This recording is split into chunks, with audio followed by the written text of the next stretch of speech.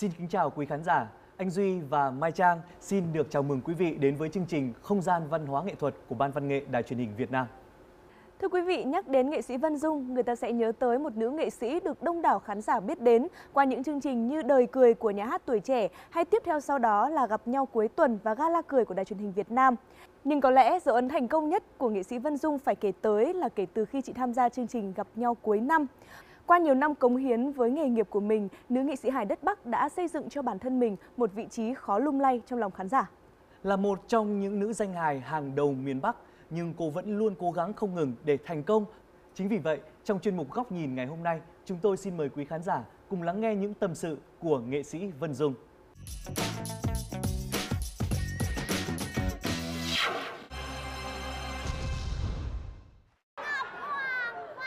Là nghệ sĩ nữ gắn liền với hành trình 15 năm của Táo Quân, Vân Dung được yêu thích nhờ sự duyên dáng trên sân khấu và những biểu cảm hình thể. Không hẳn xuất sắc so với những đồng nghiệp khác, nhưng nhắc đến Táo Quân không thể không nhắc đến Vân Dung.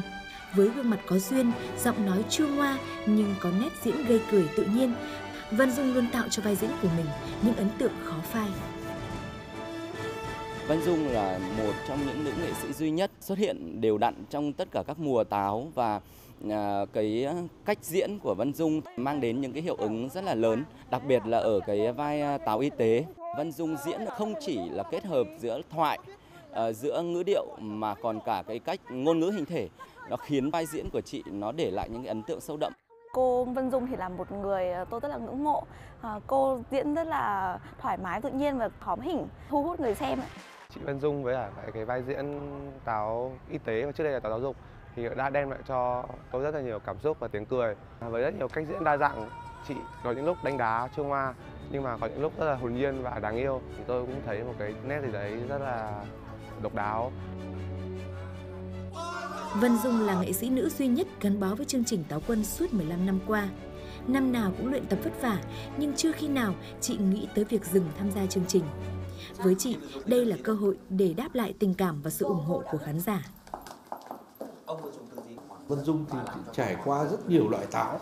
Với cái tài năng của mình thì tôi thấy là hầu hết là Vân Dung đã đạt được tất cả những cái điều mà đạo diễn mong muốn ờ, để cho Táo Quân có thể đứng vững như ngày hôm nay. Ờ, tôi cũng ít ờ, thấy diễn viên nào mà có thể ứng thoại lời nhanh như Vân Dung. Có thể nó ngoài kịch bản nhưng mà nó rất là vui rất là hài. Dung vào nhiều táo khác nhau và tôi nhớ là năm 2008 vào cái nhân vật gọi là táo tiêu dùng. Và khán giả chắc chắn một điều mà khi xem cái nhân vật này thì thích thú vô cùng. Cái điều quan trọng nhất là khi mỗi khi vào táo thì Vân Dung hay bị một cái áp lực bởi vì Vân Dung luôn luôn là muốn hoàn thiện cái vai diễn của mình làm sao mà cống hiến cho khán giả những cái vai diễn hấp dẫn thì Vân Dung đã rất là kiệt sức nhưng mà Vân Dung vẫn cố gắng hoàn thiện cái vai diễn của mình. Đấy là cái mà mình trân trọng những cái giá trị này người ta dặn đấy là dặn lúc cất cánh và hạ cánh thôi. À. còn một khi đã bay rồi nhá công cứ ăn uống một chút Xin chào nghệ sĩ Vân Dung. À, thay mặt cho những người thực hiện chương trình Không gian văn hóa nghệ thuật, Mai Trang xin được gửi lời chúc một năm mới với chị thật nhiều sức khỏe này, an khang thịnh vượng và tất nhiên không thể thiếu được với một người nghệ sĩ đó là thật là nhiều vai diễn hay. Cảm ơn em. Thưa chị Vân Dung, năm nào cũng như vậy, chương trình gặp nhau cuối năm đã trở thành một đặc sản mà cứ đến tối 30 Tết là người người nhà nhà lại muốn quây quần bên nhau và cùng nhau theo dõi. Còn đối với chị thì sao ạ? Đây có phải là chương trình mà chị mong chờ cũng như là chương trình mà chị mong muốn được góp mặt nhất không? Không phải riêng một mình tôi đâu, tất cả các táo đều chờ à, tin nhắn tinh tinh của VFC vì nếu mà không có tin nhắn đấy thì chắc chắn là chúng tôi sẽ cảm thấy là chúng tôi à, buồn lắm. Và à, gia đình tôi cũng thế và tôi cũng thế chỉ chờ đến ngày 30 Tết để ngồi quây quần bên mâm cơm à, vừa ăn cơm vừa xem chương trình táo quân. Nhưng mà với tôi thì tôi chỉ ngồi ăn thôi tôi, tôi không dám xem. Còn xem thì bao giờ cũng phải ngày hôm sau mới dám xem vì là khi mà mình ngồi mình xem cùng với cả nhà xong mình nhìn nét mặt của bố tôi rồi nhìn nét mặt của mẹ tôi cứ khi nào mà nhíu mày một cái là biết ngay là là không vui. Giống như là cái cảm giác mà học sinh lên trả bài cho cô giáo mà nếu như sợ mình nói sai thì cô sẽ trách ngay đúng không ạ? Đúng là như thế bởi vì là người thân của của mình à, nhất là bố nhất là mẹ bao giờ cũng rất là kỹ tính với con cái. Xem ở một vị thế là gì? Xem xem con mình diễn cái gì con mình diễn có hay không? Có thể khán giả vỗ tay rầm rập đấy nhưng mà chưa chưa chắc bố tôi đã vỗ tay đâu. Khi mà bố tôi xem thì bố tôi bao giờ cũng nói là cười khẽ thôi. Thì ba phải nghe lời thoại ở trong đấy. Người ta nghe được người ta mới thấm được. Ừ. cả nhà tôi cười nhưng mà cười rất khẽ. Còn đối với riêng chị thì sao ạ? Theo chị thì cái điều gì mà tạo nên cái sự hấp dẫn nhất của chương trình táo quân?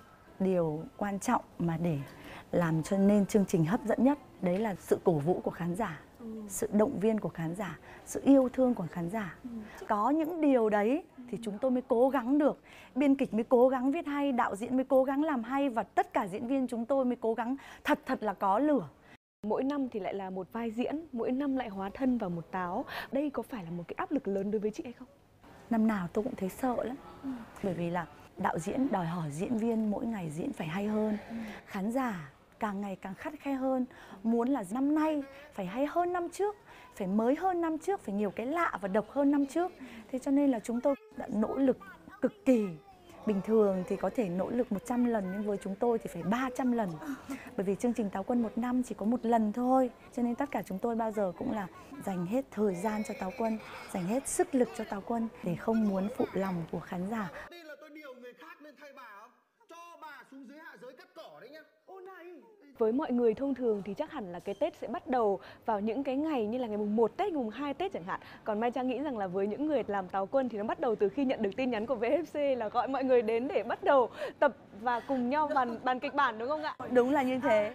Năm nay khi mà hóa thân vào vai táo y tế thì à, nó có khác gì so với những vai diễn của các năm trước ạ? Táo y tế thì vẫn thế thôi chỉ có cái là không gian khác này tình huống khác này rồi là lời thoại khác cách diễn và và và đạo diễn thì có làm mới đi rất nhiều. 15 năm gắn bó với Táo Quân, đến thời điểm này chị có còn nhớ những cái cảm giác của những cái năm đầu tiên khi mà hóa thân vào à, hình ảnh của các Táo không? Thì những năm đầu tiên thì chúng tôi uh, hồn nhiên hơn, ngây thơ hơn, chúng tôi sống đơn giản hơn và khi chúng tôi lên sân khấu thì chúng tôi không nghĩ gì cả, chỉ đơn giản là làm cho khán giả vui, làm cho khán giả thích thú. Mỗi năm Tết đến xuân về bây giờ thì báo chí quan tâm rất nhiều khán giả quan tâm rất nhiều. Sự quan tâm đấy làm cho chúng tôi áp lực kinh khủng làm cho chúng tôi không ngủ được. Suy nghĩ xem làm thế nào để cho cái vai táo nó đặc biệt hơn nó hay hơn và nó khác tất cả những năm khác. Nhưng mà trong suốt 15 năm thì đã có cái vai táo nào chị nhận kịch bản mà chị thấy là à cái vai này có vẻ năm nay sẽ làm khó mình đây? Trong 15 năm có những năm mà tôi thất bại. Ừ. tôi thất bại lý do là lý do khách quan có thể là năm đấy cái táo đấy ừ. nó không có nhiều sự kiện hot không có nhiều sự kiện điển hình. Tôi thấy nó ít ít sự kiện quá. Thế còn nếu như nói đến à, vai táo mà chị cảm thấy hài lòng và ưng ý nhất? Tôi hay thấy mọi người nhắc đến tôi là táo y tế ừ. và táo giáo dục. Tôi thì tôi không biết là hay hay không. Tôi chỉ biết là mọi người thích thì tôi nghĩ là chắc là phải hay thì mọi người thích Em quá ngoan, em rất ngoan, em khám vô tư. Chỉ đâu đó khám xong xuôi nhân dân thường được cục tiền. Em nói không, em khám xuống, em trước không tiền. Việc người dân muốn được phòng bì, thì em vô cảm. Ờ, Mai Trang cũng được biết là từ khi mà kịch bản của Táo Quân được ra đời cho đến cái phiên bản mà khán giả được theo dõi nó không giống nhau nhiều lắm đâu đúng không ạ? À, như vậy thì khi mà các nghệ sĩ làm việc với nhau, bao nhiêu phần trăm là nội dung được đóng góp từ kịch bản và bao nhiêu phần trăm là từ sự sáng tạo của những nghệ sĩ trên sân khấu ạ? Khi chúng tôi làm làm Táo Quân thì bao giờ chúng tôi cũng phải có một tuần để làm lời không. Sau đó thì cảm thấy lời gì chưa được, lời gì thiếu thì bắt đầu diễn viên cùng với đạo diễn đắp điếm vào làm sao để cho lời thoại nó hay hơn, nó dí dỏm hơn và hóm hỉnh hơn. Nhưng chưa xong đâu, sau 7 ngày đấy, đến khi chúng tôi bắt đầu đứng trên sàn diễn, chúng tôi lại thay đổi thêm một lần nữa.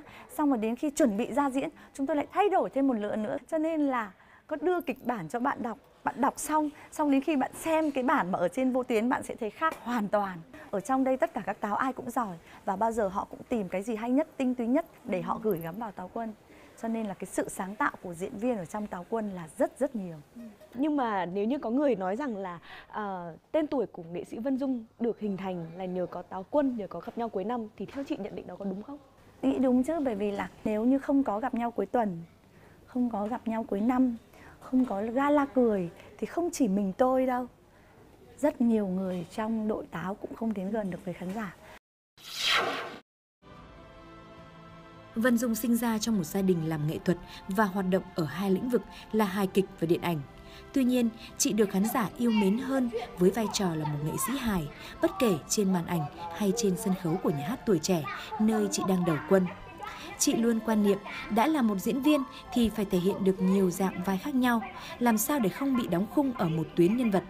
Có lẽ vì vậy mà người ta thấy Vân Dung luôn biến hóa chóng mặt trong đủ các vai diễn, từ đanh đá, chua ngoa cho đến ngây thơ khổ cực. Là một trong những nữ danh hài hàng đầu ở miền Bắc, nhưng cô vẫn nỗ lực phấn đấu để thành công và đã không phụ lòng khán giả. Vân Dung là một trong những nghề mà tôi yêu thích bởi vì nó là phong cách của nhà tuổi trẻ. Khi bạn đã diễn thì bạn quên hết tất cả. Bạn từng co quắp chân tay mà về sau tay nó không nhả ra được nữa. Tức là bạn diễn xuất thần như thế. Đấy là một cái điểm quyến rũ của Vân Dung. Ừ, chị có thể là vào rất là nhiều dạng vai. Trong đó thì tôi đặc biệt ấn tượng với những cái dạng vai mà chị hóa thân thành những cái người phụ nữ thôn quê. Ở đấy thì chị có một cái cách nhấn nhá đại từ ờ, rất là đặc biệt. Nó rất là thật và nó cũng rất là hài. Cạnh đó thì là những cái vai bi thì ờ, Văn Dung cũng thể hiện khá là thành công. À, cười đấy rồi lại khóc đấy. Nó khiến cho người xem có những cái sự đồng cảm nhất định với những cái nhân vật mà chị thể hiện. Cô ấy vào vai diễn này, cô ấy cũng có thể là thiêu ở trong cái, cái nhân vật của mình được. Tôi ấn tượng một cái vệt vệt uh, tiểu phẩm hài, tức là cái mướn tình. Dung cứ diễn theo một cái bản năng, theo một cái cảm tính và theo những cái mà sở trường của Dung. Và sau đó sau khi mà dựng xong cái tiểu phẩm đó thì Dung ô tại sao lại có cái tiểu phẩm mình lại lại diễn tốt như thế và mình thích cái tiểu phẩm đó thế cho đến giờ phút này để có một nhân vật nào một ai đó thay thế thì chắc là rất khó xong lâu rồi so sánh thế mà so sánh sau một thời gian dài gắn liền với sân khấu hài, Vân Dung đã có màn tái xuất trên màn ảnh nhỏ qua bộ phim Ghét thì yêu thôi. Nếu khán giả đã quen Vân Dung với những dạng vai đanh đá, ghê gớm, thì Diễm Điệu ở Ghét thì yêu thôi là vai diễn hoàn toàn khác với những vai diễn trước đây của chị. Vai bà mẹ thích sự trẻ trung, vừa có màu sắc tương đồng với nhân vật chị từng thể hiện, lại vừa có những nét mới mẻ, cuốn hút. Ngày xưa mình chỉ biết Vân Dung là một diễn viên hài thôi. Và bản thân trong đầu mình cũng không bao giờ nghĩ là ở lúc nào làm phim là sẽ cộng tác Vân Dung trong một cái bộ phim. Và rõ ràng là khi mà lên hình các thì yêu thôi thì đã có một cái hiệu quả rất là tốt. Chị Dung là một người rất là thông minh và nhanh nhạy, cũng như xử lý các cái diễn xuất, những cái tình huống rất là khéo léo và hợp lý. Cho nên là khi chị đã hiểu vai, hiểu nhân vật rồi thì chị làm việc rất là tốt. Và mình nghĩ là Vân Dung làm cái vai đấy rất thành công. Vân Dung đóng cái vai rất là hay bởi vì đóng chính, không phải đóng gì cả, đến chính cuộc đời cô đấy à, Vân Dung là một người nhìn bề ngoài tưởng như là một người sống hời hợt nhưng là một người sống cực kỳ nội tâm cô ấy rất là thông minh có một trái tim rất là tốt biết dung cảm và cũng rất hào phóng nếu cô ấy thích Quay trở lại năm 1992, à, Mai Trang được biết là chị lọt vào top 15 người đẹp nhất trong cuộc thi Hoa hậu báo Tiền Phong. Vậy thì ngoài cái điều mà chị vừa chia sẻ, còn điều gì ở thánh đường sân khấu nó cuốn hút và quyến rũ chị đến thế để chị tiếp tục gắn bó đến bây giờ? Lúc đấy tôi mới có 16 tuổi thôi cho nên mình không nghĩ gì mình chỉ cần là mình bước chân lên sân khấu và ủng hộ cho chị gái mình để chị gái mình tự tin hơn trên sân khấu, nói năng được lưu loát. Và chị gái tôi uh, xinh hơn tôi rất nhiều luôn luôn rụt rè và rất là xấu hổ khi đứng trước đông người. Cho nên tôi chỉ nghĩ là mặc dù mình ít tuổi hơn chị nhưng mình là một người mạnh dạn. Thế cho nên là mình nghĩ là mình phải đi theo để ủng hộ chị. Còn tôi nghĩ này từ thánh đường sân khấu thì từ khi tôi năm sáu tuổi tôi đã tôi đã xác định là tôi phải đi làm diễn viên. Mỗi một lần tôi nhìn thấy các cô, các chú ở trên đoàn quân khu 1 đứng ở trên sân khấu tôi ước mơ lắm. Tôi ước mơ là có một ngày tôi phải đứng trên sân khấu. Còn sân khấu gì thì tôi không biết, miễn là phải đứng trên sân khấu và phải được nhìn thấy khán giả. Tôi nghĩ là như thế và tôi đã tôi đã làm được điều đấy. À, chắc hẳn đó chính là cái ngọn lửa mà à, đốt cháy cũng như là giúp cho chúng ta luôn luôn theo đuổi được cái niềm đam mê và ước mơ của mình dù có ở độ tuổi nào đi chăng nữa. À, hiện tại bây giờ thì chị Vân Dung vẫn đang là à, đầu quân cho nhà hát tuổi trẻ đúng không ạ? Tuy nhiên thì à, Mai Trang cũng như là nhiều quý vị khán giả có vẻ như là ít thấy chị xuất hiện ở trong những vai chính kịch à, trong những vở kịch của nhà hát tuổi trẻ. Tại sao lại vậy ạ? Khi mà tôi bước chân vào nhà hát tuổi trẻ tôi đang còn đi học và ra trường thì các anh các chị rất giỏi. Ví dụ như chị Lê Khanh, chị Lan Hương hay là chị Ngọc Huyền, chị Minh Hằng toàn những người những người giỏi như thế. Thì làm sao mà tôi có thể đứng trên sân khấu mà tôi diễn được những cái vai vai diễn chính kịch để cạnh tranh với các chị được? Cho nên là tôi không tự tin để để để để để đứng trên sân khấu sánh cùng các anh các chị. Và tôi phải tìm cho mình một con đường đi riêng. Cho nên ai cũng thắc mắc là tại sao Vân Dung không đứng trên sân khấu để làm những vai đào thương? Nhưng tôi nghĩ là nhìn thấy mặt tôi mọi người và tôi không làm được đào thương. Vì là cứ nhìn mặt tôi thấy phản bội rồi. Chị có còn nhớ vai diễn đầu tiên của chị ở trên sân khấu của nhà hát tuổi trẻ không ạ? Vai diễn đầu tiên là vai diễn trẻ con. Ừ. vai diễn trong vở Doraemon. Do anh à, Đức Hải làm đạo diễn đóng vai cô giáo. Thế còn nếu như nói đến một vai diễn nó đánh dấu một cái bước ngoặt hoàn toàn khác, gây dựng tên tuổi của nghệ sĩ Vân Dung thì đó sẽ là vai diễn nào? Vai uh, phù thủy ở trong vở Hai cây phong của đạo diễn nghệ sĩ nhân dân Lê Hùng. Tất cả những người đã xem, mọi người nói tôi sinh ra để làm phù thủy. và khi tôi xem cái cái vai diễn đấy mọi người quay lại thì tôi không thể tưởng tượng tại sao tôi lại có thể diễn như thế vai diễn đấy rất là hóm hình rất là nhí nhảnh nhưng lại cực kỳ ghê gớm tôi diễn đúng như những cái bà phù thủy ở trong phim hoạt hình của trẻ con ấy. Chị có từng chia sẻ à, những vai diễn hài thì phù hợp với bản thân chị hơn. Trên sân khấu cũng là những vai diễn hài này, rồi cả trong những bộ phim sitcom mà mọi người vẫn thường hay theo dõi. À, gần đây cũng có Ghét thì yêu thôi, một bộ phim mà chị cũng đang đảm nhận. À, chị có sợ rằng là khi mà chỉ vào một vai là diễn viên hài thì nó sẽ hơi một màu và không được đa dạng trong việc chúng ta hóa thân vào những vai khác nhau hay không? À, các bạn đã xem phim truyền hình ghét thì yêu thôi ừ. thì đấy là một vai diễn mà không giống tất cả những vai diễn của tôi từ trước đến nay vai diễn của tôi từ trước đến nay bao giờ cũng là đòng đảnh ừ. nhưng mà đánh đá ghê gớm vai đấy là Tuổi một vai rất là đáng yêu nói lời yêu một bà mẹ nữa. rất là ngây ngô có nữa. những trường đoạn tôi diễn xúc động tôi không nghĩ uh, mình lấy được nước mắt của khán giả ừ và khi tôi diễn tôi thì diễn tôi, thích tôi tôi. có một cảm giác là tôi diễn nó chẳng giống Mình ai cả. rồi. ví dụ như mọi người mà diễn mà lấy muốn lấy Không nước mắt khán giả chờ đợi nữa đâu. hoặc là chuẩn bị vào Hãy để cho quang đón diễn về một để chăm cái, sóc cái, cái, phân đoạn quay Xin mà rất là xúc động thì bao giờ mọi người cũng ra. Bây giờ chả còn làm dạ nào mà nghĩ đến bản thân lặng nữa. một lúc. Sau đó thì lấy cảm xúc lấy nước mắt lấy tất cả mọi thứ sẵn sàng. Thì tôi mới nghĩ đến tôi, bản tôi không làm được điều đấy. Tôi diễn đúng như trong kịch bản. Ừ. và tất cả nước mắt và mọi thứ cảm xúc nó dâng lên từ từ trong lòng. Và lúc đấy nước mắt bắt đầu là chảy ra, nhưng mà tôi không thích là khi mà diễn mà nước mắt nó cứ trào ra này, tôi không thích. Và tôi chỉ thích là nước mắt nở vòng quanh thôi. Nó không được trào ra và đến câu cuối cùng thì mình mới được phép xử lý nước mắt nó trào ra ngoài. Cả đời mẹ. Mẹ chỉ mong được mặc váy cưới một lần, nhưng chưa bao giờ được mặc. Nên bây giờ, mẹ cũng chỉ sợ con vì mong ước đó mà con lựa chọn sai. Rồi hỏng cả một đời dù khổ như mẹ con ạ. À. phải nói rằng là những người nghệ sĩ qua một vai diễn, chúng ta lại cảm thấy là chúng ta tìm hiểu được bản thân mình nhiều hơn, khám phá được nhiều hơn ở chính con người mình như là chị vừa kể đúng không ạ? Chị từng chia sẻ rằng là diễn hài là một cái lối diễn rất là tự nhiên và là một cái duyên trời cho. Nhưng mà dường như để có thể trở thành một diễn viên hài chuyên nghiệp thì chỉ như vậy thôi là chưa đủ đúng không ạ?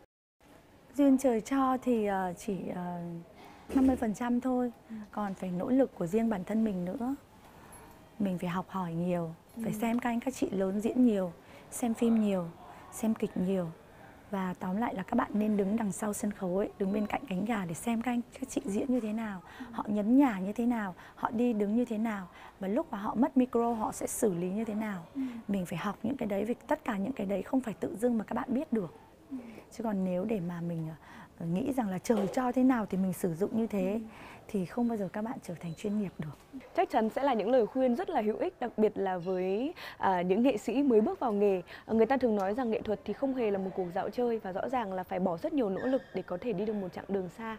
Đến thời điểm hiện tại chị nghĩ rằng à, con đường này đã mang lại cho chị những gì? Vất vả lắm. Ừ. Nhiều lúc tôi nghĩ là tôi không thể nghĩ rằng là mình có thể tồn tại đến ngày hôm nay. Thứ nhất là về sức khỏe, thứ hai là về không gian thời gian tôi không nghĩ được như thế. Bởi vì là tôi đi diễn suốt ngày lúc nào cũng trong tình trạng là có một cái vali trên xe ô tô và tôi sống trên ô tô là chính. Trên cung đường có rất là nhiều chuyện xảy ra. Thế mà suốt hai mươi mấy năm mình đi như thế ngày nào cũng đi như thế tôi không tưởng tượng tại sao tôi tồn tại đến ngày hôm nay thật. Tất cả các nghề đều vất vả như nhau cả. Thế cho nên là các bạn đừng nghĩ rằng là làm diễn viên ở trên sân khấu đẹp đấy xinh đấy sung sướng lắm nhiều tiền lắm không phải đâu. Khổ lắm và cũng chính bằng sự nỗ lực đó của những người nghệ sĩ, của những vai diễn mà chị Vân Dung đã mang tới cho khán giả, Mai Trang biết rằng khán giả rất yêu quý chị, yêu quý một Vân Dung dù là ở trong một vai diễn đỏng đảnh, rồi là muốn được chiều chuộng, rồi dễ thương, hay là ở vai một người mẹ nhiều cảm xúc, hay bất kỳ một vai diễn nào nữa. Bởi vì người nghệ sĩ thì luôn luôn mang tình cảm, mang tiếng cười, mang tình yêu thương tới cho mọi người. À, xin được cảm ơn chị về những chia sẻ của chương trình ngày hôm nay và một lần nữa chúc cho chị sẽ có thật là nhiều thành công trong năm 2018. Thưa quý vị, nghệ sĩ Vân Dung từng chia sẻ với chúng tôi rằng nghệ thuật chính là kết quả của sự sáng tạo và sự chăn trở đằng sau cánh gà để mỗi lần xuất hiện là một lần lấp lánh dưới ánh đèn và mang lại những điều mới mẻ cho công chúng. Hy vọng với tâm niệm này, nghệ sĩ Vân Dung sẽ luôn có những vai diễn thật ấn tượng để gửi tặng những khán giả luôn dành tình cảm cho mình. Tạm chia tay với chuyên mục Góc Nhìn, ngay sau đây xin mời quý vị cùng tới với chuyên mục Sắc Màu. Mỗi năm hoa đào nở lại thấy ông đồ già, cứ mỗi dịp Tết đến xuân về, Văn Miếu Quốc Tử Giám lại trở thành một địa chỉ quen thuộc để các ông đồ tới đây ngồi thảo những nét chữ như rồng bay, phượng múa. Nghệ thuật thư pháp và thú chơi chữ đã trở thành một truyền thống văn hóa tốt đẹp của ông cha ta. Đó cũng là một nét đẹp trong văn hóa sinh hoạt tinh thần cần được phát huy, bởi nếu được khai thác và sáng tạo thì chữ Việt rất đẹp và rất có hồn. Trong chuyên mục sắc màu ngày hôm nay, chúng tôi xin mời quý khán giả cùng đến với một phóng sự về thư pháp Việt.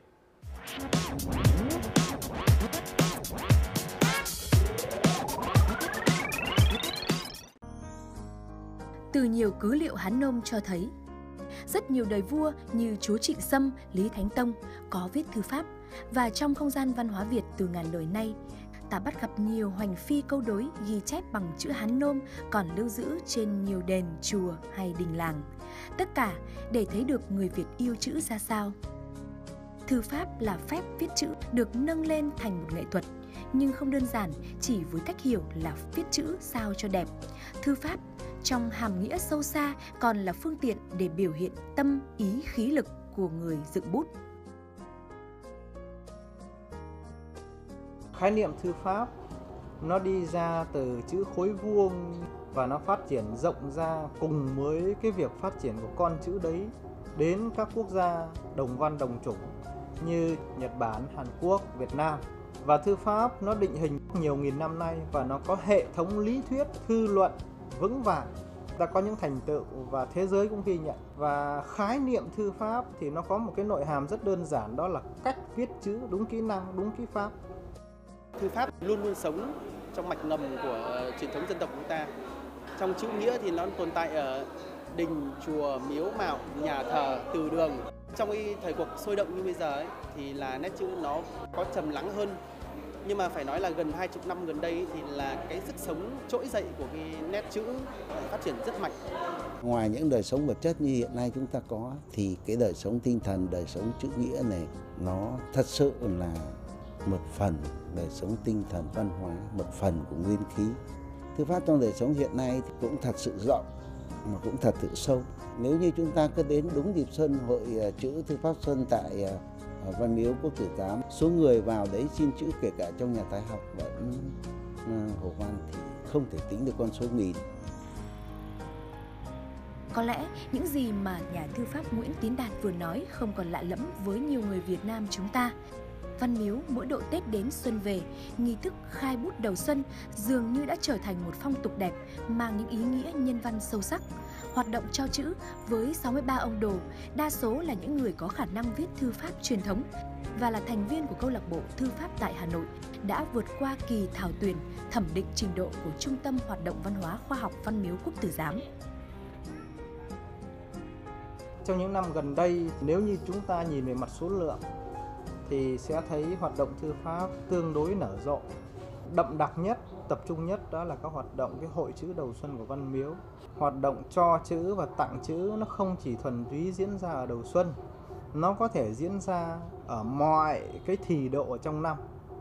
Và trong lịch sử hơn một nghìn năm đào tạo chữ Hán và nền văn hóa nho học của Việt Nam đấy, cái hoạt động tặng chữ và cho chữ nó đã trở thành một nét đẹp văn hóa tổ chức được cái việc làm này là tôi thấy rất là ý nghĩa để làm đẹp thêm cái nét văn hóa của Việt Nam ta.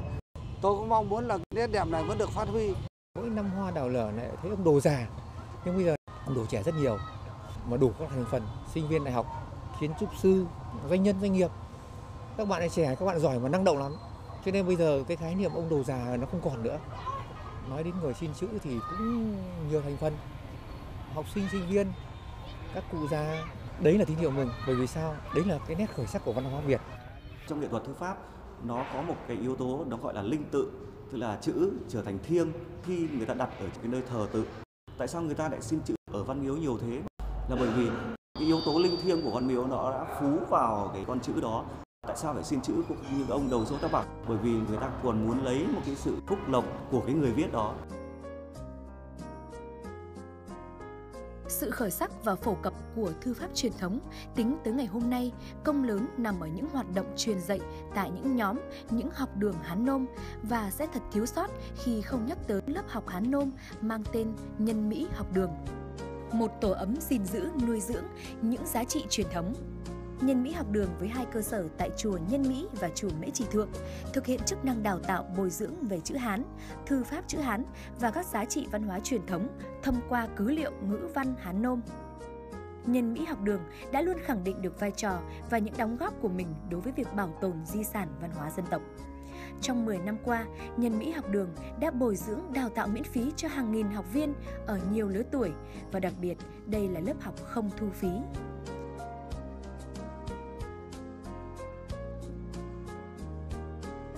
Hiện tại thì à, Nhân Mỹ học đường chúng tôi đang à, đào tạo khóa học thứ 11 và đang chiêu sinh khóa học thứ 12. Xuất phát điểm để Nhân Mỹ học đường tổ chức cái hoạt động đào tạo mà không thu phí thì đầu tiên là hướng đến những người học và đông hơn đó là hướng đến xã hội và động cơ của nó là việc thúc đẩy, việc tìm hiểu hiểu biết trên nền tảng có kiến thức để nhận thức được giá trị của những di sản văn hóa truyền thống Tôi học ờ, thư pháp được đào tạo tại ờ, Nhân Mỹ học đường. Những năm đó thì ờ, nhà trường này chỉ có một lớp thôi. Thầy Kiên đứng lớp thì tôi là lớp trưởng. Sau thì 2013 chúng tôi đề nghị với thầy, thầy đồng ý cho quân ra.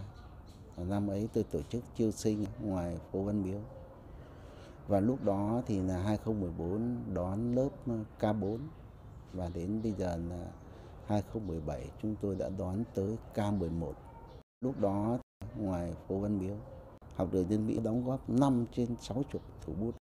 Em học môn này để hiểu biết thêm về hàn văn của mình. Đây là một lớp học rất ý nghĩa đối với tất cả mọi người, không phân biệt về lứa tuổi trẻ hay là già, mọi người đều có thể đi học được.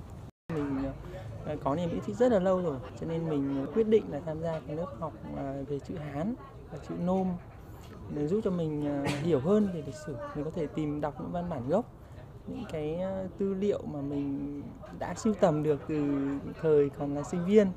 Các thầy dạy rất có tâm với lại học trò, không vì một cái gì hết, tất cả các thầy dành cho trò những cái kiến thức tốt nhất thì ờ, tôi thấy thích thú tôi tôi đi tôi học, thì càng học thì càng mê. Tôi theo năm nay là năm thứ ba rồi đấy. Đối tượng học viên theo học đa số là các cháu sinh viên, còn lại là những người cao tuổi thì những người cơ bản là người ta cũng đã có những cái vốn kiến thức biết về cái này.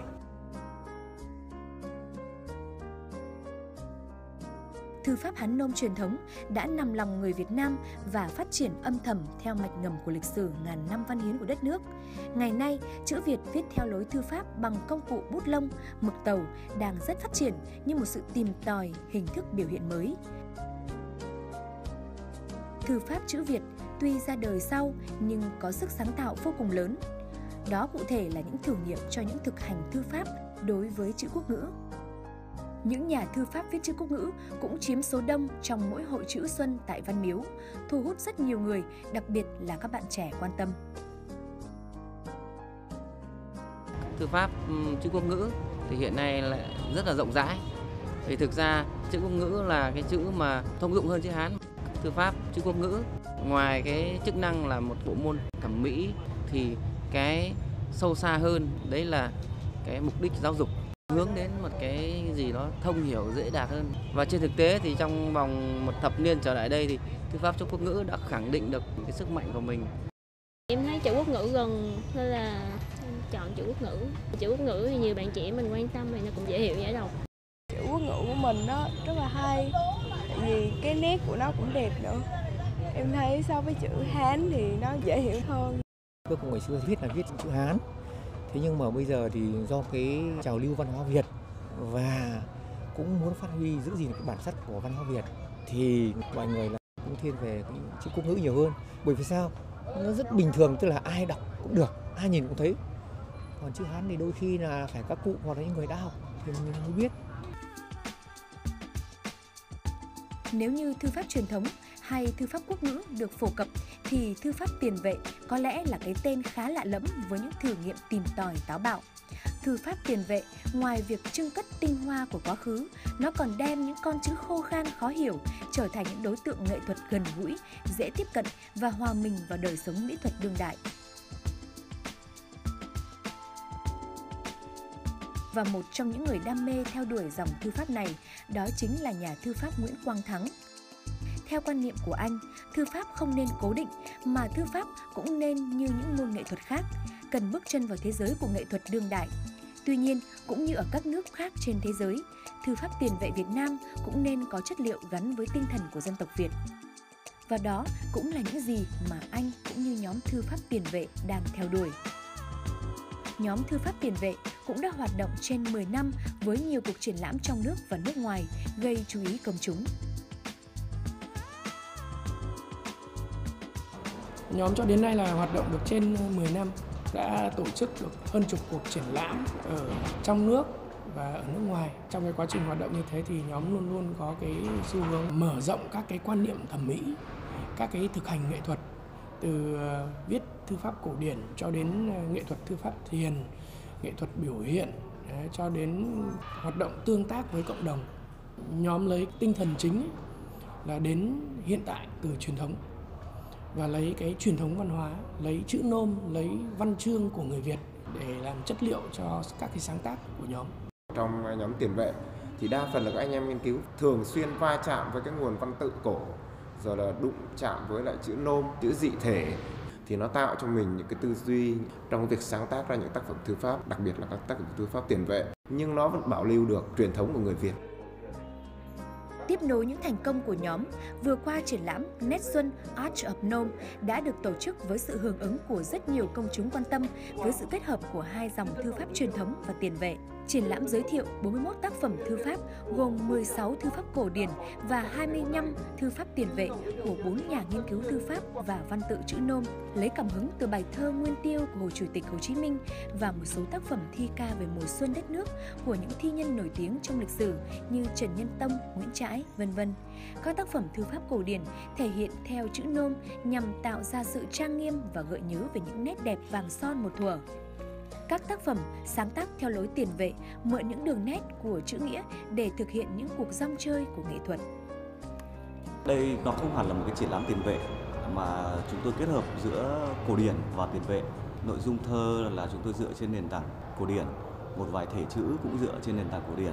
Tác giả, nghệ sĩ thì mới và chúng tôi ảnh hưởng trào lưu nghệ thuật ờ, thư pháp hiện đại của các nước đồng văn, Nhật Bản, Hàn Quốc.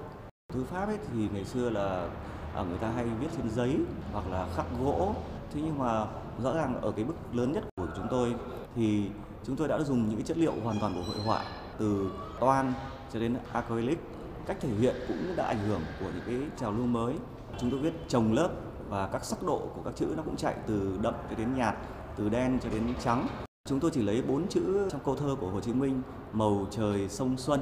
Thế nhưng mà cứ lặp đi lặp lại bằng các thể khác nhau. Trong đó chúng tôi kết hợp với cả cái cách vẩy bút của Jackson Pollock thì tạo ra một cái hiệu ứng về mặt thị giác. Chúng tôi ờ, đã thử nghiệm rất nhiều các cái phương án khác nhau trong quá trình sáng tác nghệ thuật. Mực có thể tràn bo, mực có thể chảy tràn trên tường, mực có thể là đi từ gallery vào đến tận lễ hội dân gian và một cái tác phẩm nghệ thuật nó được mở rộng cái quan niệm về mặt cấu trúc tác phẩm không chỉ là chỉ đính trên tường nữa những người mà tham gia cái, cái buổi trình diễn thư pháp đó cũng trở thành một phần của tác phẩm Ờ, tác phẩm mà mình là treo ở đây hiện là ba bức, một bức là chữ tâm, một bức là thanh nhàn, một bức là lạc đạo. Ba bức này đều lấy cái ý, thơ và lấy hẳn trích những câu thơ của Phật Hoàng Trần Nhân Tông. Nghệ thuật nôm à, là chủ đề của cái buổi trình diễn ngày hôm nay, nó phản ánh cái khát vọng học hành của người Việt. Ta thấy đó là cái sự hội nhập. Ở đây ta thấy nó biến hóa nhảy múa, từ cái chữ nôm đấy trở thành những bức tranh. Cái hay của cái này chính là lại phát triển từ cái chữ nôm chứ không phải là từ chữ Hán. Nó có cái sáng tạo từ cái chữ mà biến thành tranh. Về mặt thị giác ấy, thì người ta xem người ta thấy rất là phong phú và cái truyền thống ấy được người ta sắp xếp người ta trình diễn ấy nó rất là hiện đại từ những các cái ý tưởng những cái câu thơ của bác hồ rất có ý nghĩa lồng ghép cả những câu thơ hiện đại để mà biến tấu thành bức tranh một cái cách tiếp cận nó làm phong phú hơn cái đời sống thư pháp triển lãm Nét Xuân Arch of Nome như một nỗ lực tiếp nối phong trào truyền thống Hán Nôm để khơi lại mạch nguồn di sản của văn hóa dân tộc. Trong đó, nội dung văn chương là duyên cớ, sơ khởi cho các xúc cảm, giấy bút, mực nghiên, đặc biệt các tác phẩm chữ nôm, một loại hình di sản văn hóa đã góp phần tạo dựng, hôn đúc nên hồn cốt của tiếng Việt triển lãm kết thúc trong nhịp đập mạnh mẽ của đời sống thư pháp, động lại nhiều cảm xúc với cả người xem lẫn người trong cuộc. Và vẫn vậy, những nỗ lực mạnh mẽ và âm thầm của những người yêu thư pháp đã và đang góp sức vào việc gìn giữ những nét văn hóa truyền thống vốn là niềm tự hào của người Việt Nam. Xin trích lời của Thứ trưởng Vương Duy Biên thay cho lời kết. Xin chữ là để mang về một hy vọng, cho chữ là một nét văn hóa.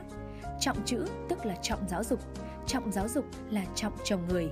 Và nếu cả dân tộc trân trọng điều đó thì xã hội đó phát triển.